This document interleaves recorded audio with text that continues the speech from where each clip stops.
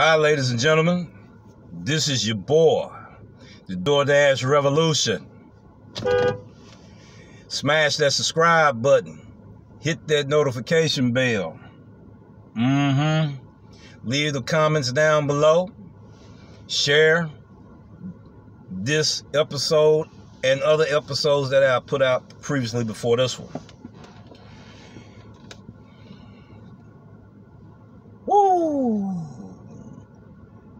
The information I'm receiving, I just have to inhale and exhale mm. about it.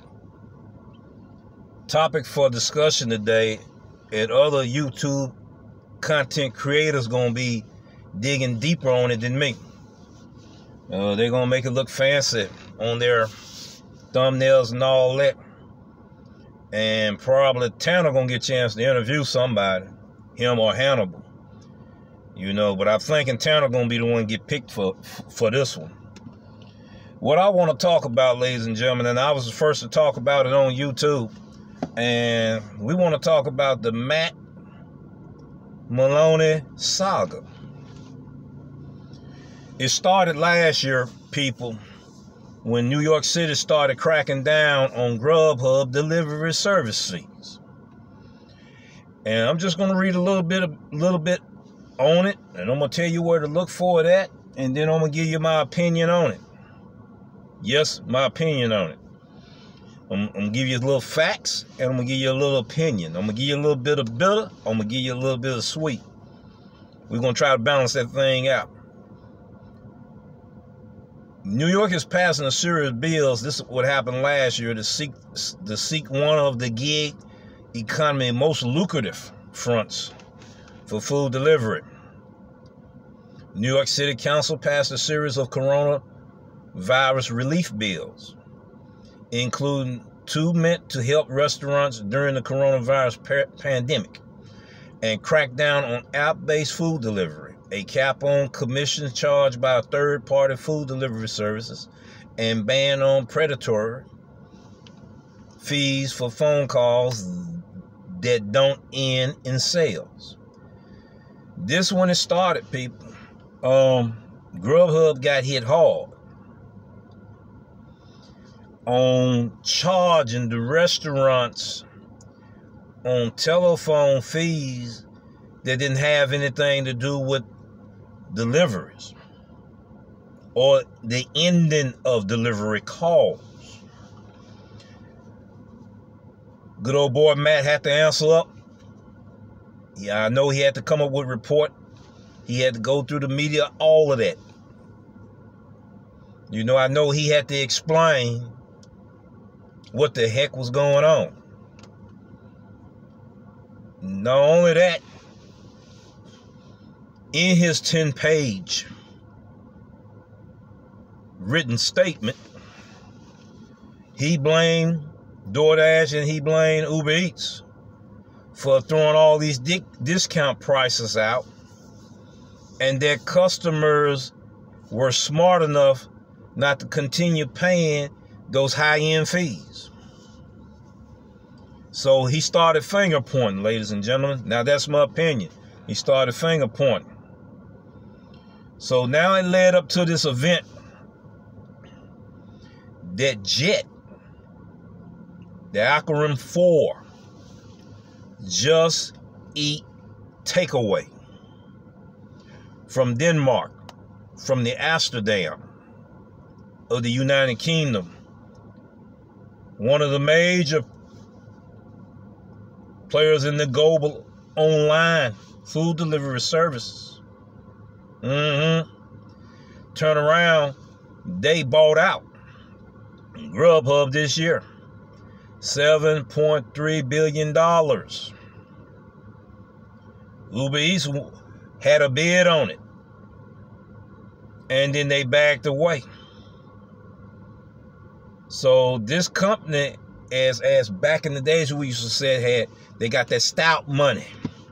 Those country folks used to say back in the day, he got that stout money. Uh huh. And they bought him out.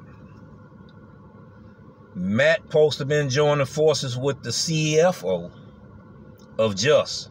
Both of them had been in the business a little over 10 decades. Then Matt, all of a sudden now, he's leaving Grubhub. This is my take on it, ladies and gentlemen. I've been a direction, dealing with the direction of being a maintenance supervisor. Mm-hmm. I done been an operational director before at a mall that had 52 stores, managers and all of that, regional managers and district managers of each company. Mm-hmm. Now I can kind of understand when uh, it's just like I'm gonna use for example, because apartment complexes buy and sell all the time, and I was the maintenance director at one. Then a company came in and bought it out. They normally get rid of the whole staff. They might keep one or two people. They was like, yeah, we need we need your experience. We need your know-how. You know the property. We need you. You very you got all kind of experience. But we want you to be the supervisor, not the maintenance director. We already got a maintenance director. So the maintenance director came in. And you know that um I wasn't able to do certain things anymore at, at a management discretion. That was taken away from me. It was kind of a hard pill to swallow, ladies and gentlemen. And uh, what I did was I went in here and I left to find me better opportunities. So I'm thinking this is what's happening right now. I'm thinking this man realized that, you know, I got just much experience as him. I'm the owner of this company. Now y'all done bought this company. Now I gotta dance to your, your music that don't digest too well with me. I'm gonna have to leave. That's my opinion, ladies and gentlemen. But Reason why I say it's my expert opinion, because I've been there too. And it's hard once you done been in charge of, of a company.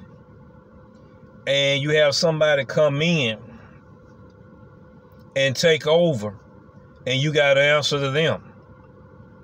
And with all the mess that went on last year, it was just bound to happen anyway. Now, ladies and gentlemen,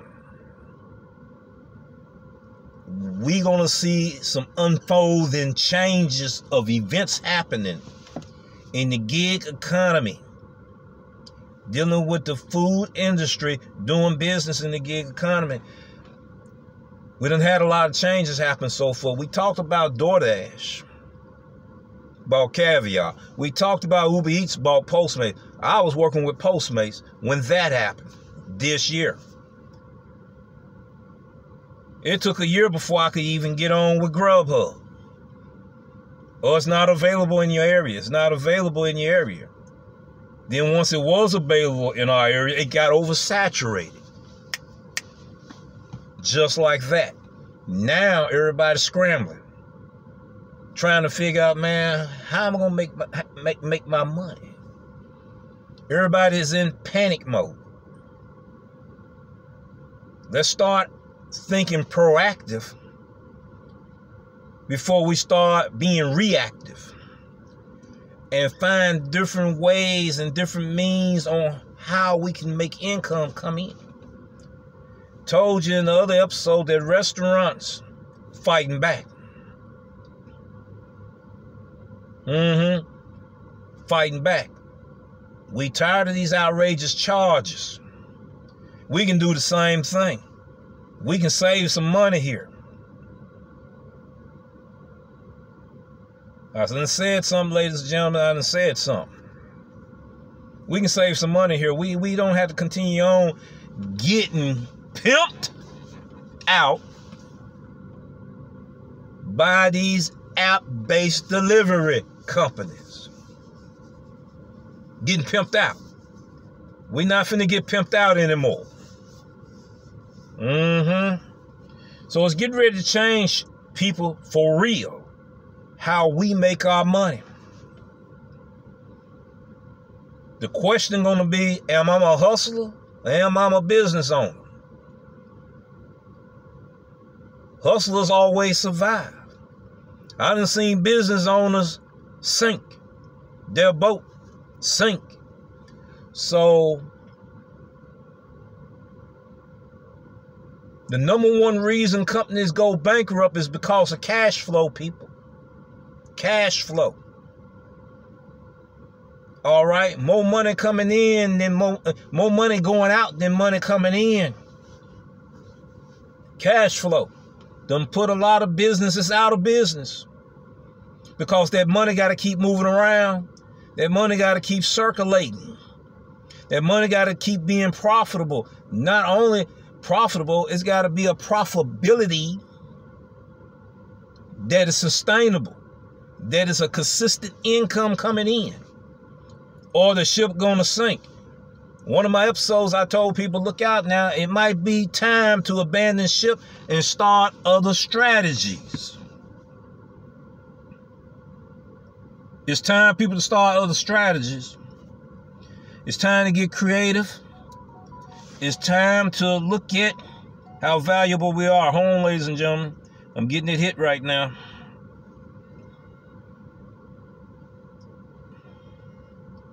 Let's see what we got. Let's see, it's gonna be gravy. Uh, uh, uh, uh. Well, uh, I'm gonna turn this one down. Mm-hmm. We getting ready to end this episode, ladies and gentlemen. I'm gonna wait till these people leave because I don't want to startle them when I do my most famous exit scene.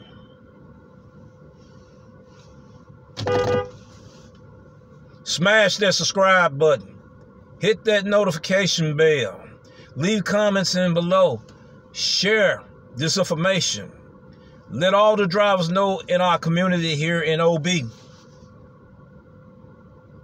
And I hope that others in other cities find out about what's going on as well with this information that we're bringing you.